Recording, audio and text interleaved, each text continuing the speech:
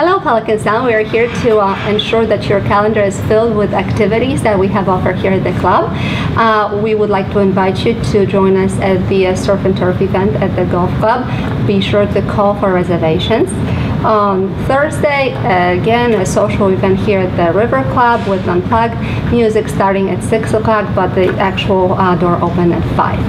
Um, on Friday, if you're in the mood for a a la carte dining, please uh, make your reservations again with Joanne. Uh, the chef is going to be offering three course menu for $44. That will also include a bottle of selected wine. On Sunday, we are going to be hosting usual breakfast from 10 a.m. to 1 p.m. And going on to March already, uh, we are going to be um, hosting a prime rib night, one of the last ones of this season. And we have um, a couple seats available around 7.30 and 8 o'clock.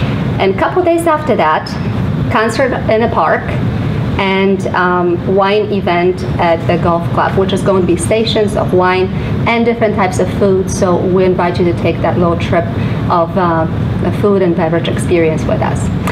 Today, um, there are two folks uh, that I'd like to introduce.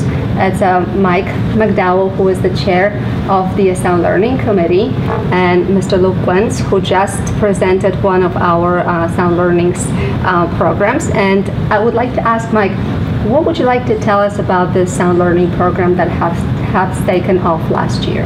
Well, I think those of us who live in Pelican Sound know we're fortunate. We have a lot of neighbors. They're very low-key people. They don't wear their heart on their sleeve, but you dig down and they're very experienced. And so what we've done with with Sound Learnings is to tap those people's expertise and have them speak, speak on issues and topics and things about which they are aware. And it's been fascinating. We've had programs ranging all the way from uh, uh, down to very thoughtful pieces on global warming and a variety of other areas.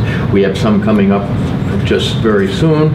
Uh, we have uh, Dennis Cashman, who's a retired Illinois judge, talking about blind eye, how, uh, how there was a physician who was uh, finally found to be guilty of killing a lot of people, but the AMA didn't want to admit it. Uh, we have a session on oil spills uh, by uh, Dr. Al Venosa. Al was with the EPA for a long time, and he really knows this stuff.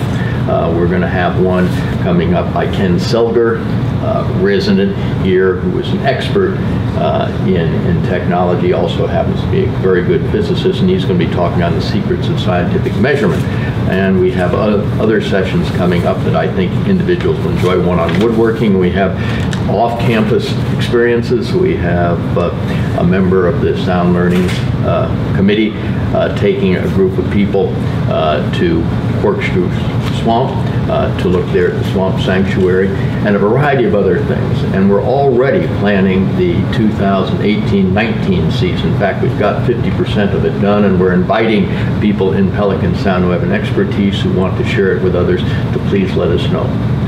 We just finished a wonderful session on beers, and uh, Luke, why don't you say Yes, we, we would like to know a little bit about um, your perspective as a presenter as well as a participant of a previous um, programs. How, how do you find the Sound Learnings program at Pelican Sound?